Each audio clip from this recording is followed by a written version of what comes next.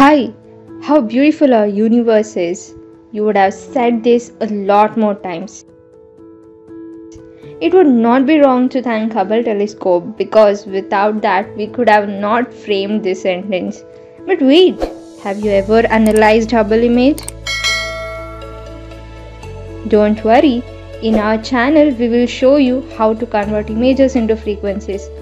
Use the link in the description below and visit to our blog on how to convert image from spatial domain to frequency domain. Make sure to subscribe to our YouTube channel and learn something new in MATLAB.